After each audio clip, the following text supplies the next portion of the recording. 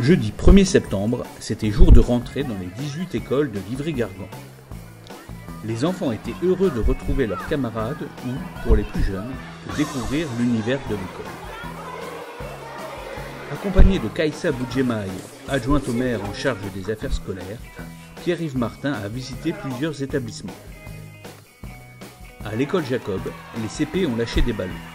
Par le passé, certains ont été retrouvés en Allemagne et même en Pologne.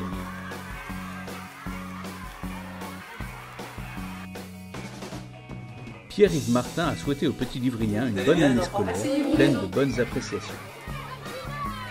Les élèves bénéficient de conditions d'apprentissage d'autant plus confortables que plusieurs chantiers ont été achevés cet été, notamment à Benoît-Malon et Bellevue.